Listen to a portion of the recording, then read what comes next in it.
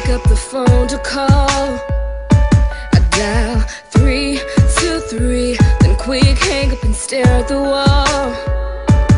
Will he even talk to me? I write down what I wanna say, but then I throw the page.